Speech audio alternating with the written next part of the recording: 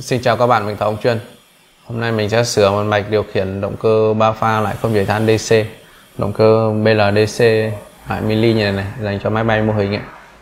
Thì con này nó bị hiện tượng là chạy giật giật Xong bạn kia mang đi sửa thì người ta bóc hả linh kiện ra nhá. Bóc hết ba con lái mốt phét ra này. Xong rồi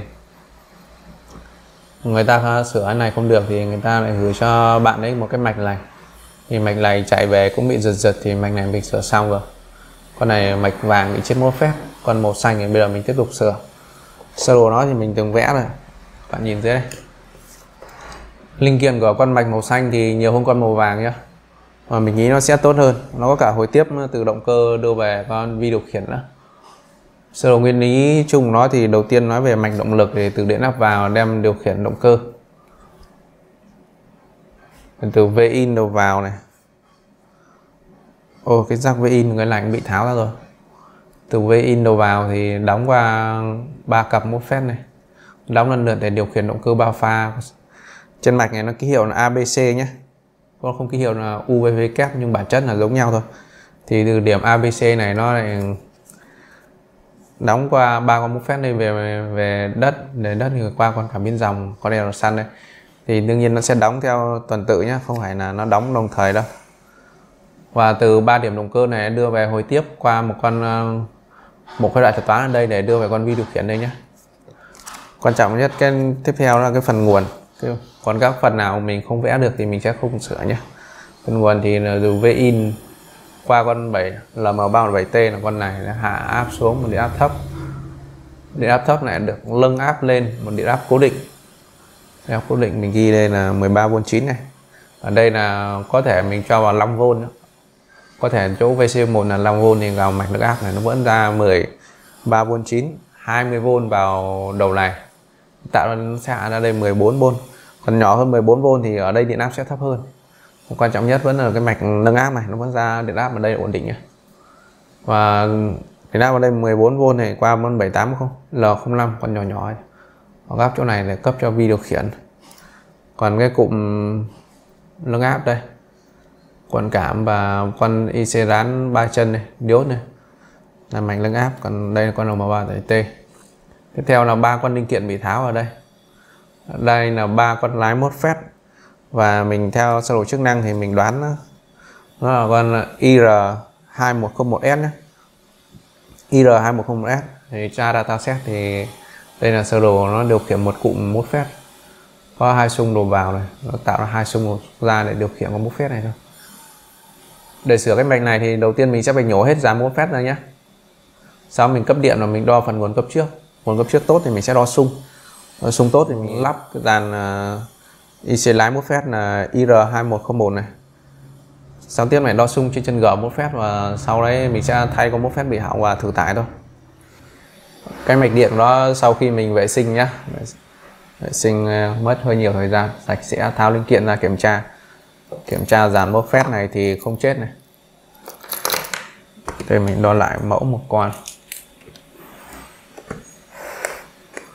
Kiểm tra một phép để đồng hồ kim thăng 10k theo thứ tự GDS thì chân ờ, G với các chân còn lại không bị lên kim là được. S với D là dẫn này kênh dẫn G thì DS dẫn này. Ngắt kích này, thì DS khóa này. Tương tự kiểm tra như thế thì 6 con mình kiểm tra tốt nhé sau mình sẽ kiểm tra phần nguồn V in nhé mình đo V in đi. V in mình cấp vào 12V này. Để nắp ra đo ở chân 2 của con M317 chân 2 chính là tấm đồng này. À mình chưa bật nguồn nhé ơi mình bật nguồn đèn lên này điện áp chân 2 này 10V này. Điện áp qua cụm nâng áp này 13,1 này. Điện áp 5V này. 5V nhé nguồn tốt rồi. À đo thêm nguồn cấp cho các con IRS điện áp chân 1 13V cái điện áp này có thể phụ thuộc một phần vào điện áp vào nhé vườn tốt. Bây giờ mình sẽ kiểm tra xung kích cho IRS bước này để kiểm tra xem con à, vi điều khiển này có tốt hay không. Con này có bộ phay đợi thuật toán này, không biết có ai bị ảnh hưởng không? Mạch thứ kế phức tạp à mình đo chân 2 của một con IRF này. IRF 2101 đấy. Các bạn nhìn có sung lên sung nhá. Sung ờ, chân 2 là sung ờ, sung ờ, tần số cao hơn. Đấy, xung ở chân ờ, 3 của nó thì thấp hơn này. Con IRS thứ hai này IR à, IR chứ. Con IR 2101 này. Đây sân 2 là xung nhỏ này. Chân 3 là xung to này. Con này, IR thứ ba này.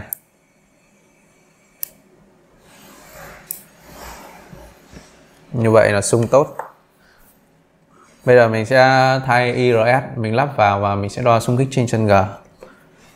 Sau khi mình hàn hết hai con ba con IR 2101S này mình đo xung kích chân G nhé. Đấy, à, xung là biên độ lớn hơn nhé.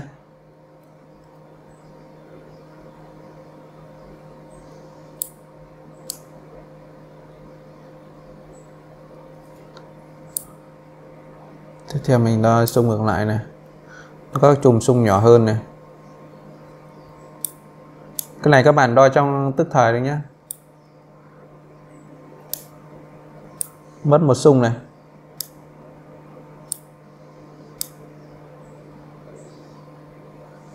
Chân này có sung này, sang chân này này.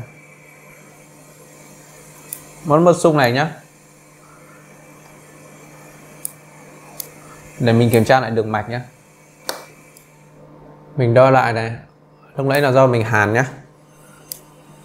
Cái sung ờ, G con mốc phép này đã có rồi. Nên cả ba con đều có sung rồi.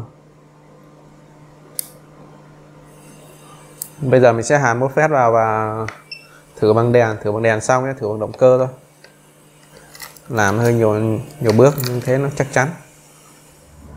Mình vừa hàn ờ, bộ bóng đèn để tạo giả là động cơ vào nhé hàn để xem cái sung kích nào mình vẫn cấp vào 12V thôi. Đây, các bạn nhìn này. Nó điều khiển à, thấy động cơ không quay nó sẽ điều khiển mồi nhé mình xem nó mồi mồi một lúc nó thôi này đấy. Nên đo sung phải đo trong thời gian à, quá độ nhé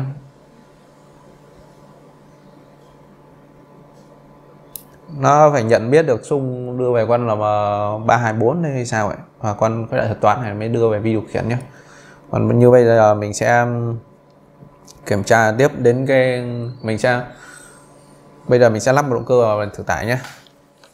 Bây giờ mình sẽ thử tải nó. Mình đang cấp 12V 3A này. Các bạn để ý này.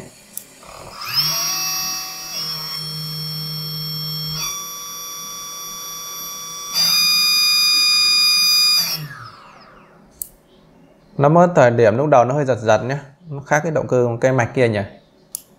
Nếu để dòng nhỏ nó giật này nhưng mà nó qua cái mức đấy khoảng nó nó cũng ngon ngay.